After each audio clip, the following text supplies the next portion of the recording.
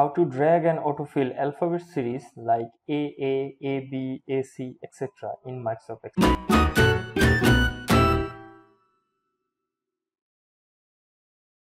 Hello everyone, welcome to Excel 10 tutorial. In this advanced Excel tutorial, we are going to autofill alphabet series and we are going to get alphabet series like AA, AB, AC, AD and so on. In a previous tutorial I have showed how you can autofill alphabet series from A to Z like this if I write here A and if I drag this it will autofill this alphabet series.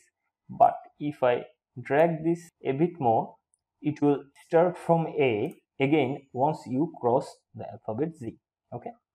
Now here I want to change this a bit I want to start AA once we cross the alphabet Z. Okay.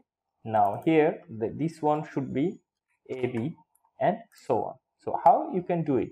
Excel doesn't have any built-in function for this. So we are going to create a custom function for this. Okay. To do that, click on the developer tab. If you don't have developer tab in your ribbon, please check this tutorial. Once you have added your developer tab, click on Visual Basic click on insert and then click module. Now you will have to write this code okay?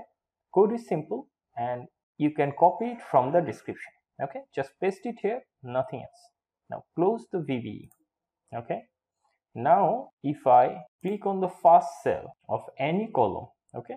And write equal to and then alphabet A L P H and then you can see our custom function is already here. It says function and alphabet series so double click this, okay? And then we're going to use the row function here. We don't need anything. We just have to add open and close parenthesis and close parenthesis again. And if I press enter, we have A in the first cell. So if I drag it, and here is our alphabet series from A to Z. Once we have past z then it's going to start from a a then ab and then ac and then ad now here is a problem. If this function is placed in the first cell it will work okay?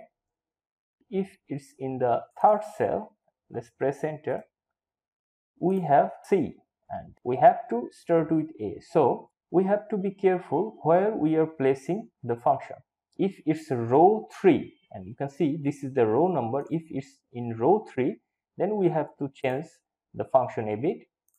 Before the last parenthesis you have to add minus 2 because we are in the third row. So if we minus the first two row it will start from a. If i press enter we get our a. Now let's say we are in the 10th row.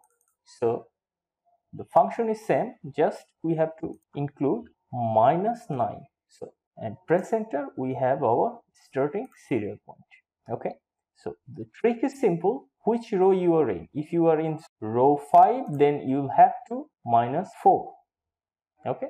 If we are in row 7 we have to minus 6 so this is how this works now one more thing you'll have to be careful if you don't save this workbook in XLSM format it will not work next time you open it. So you have to save this workbook in Excel macro enable workbook. Let's see how you can do that. Click on file and then click on save as any location you want and any name you want and the format save as type should be Excel macro enabled workbook this one .dot .xlsm format.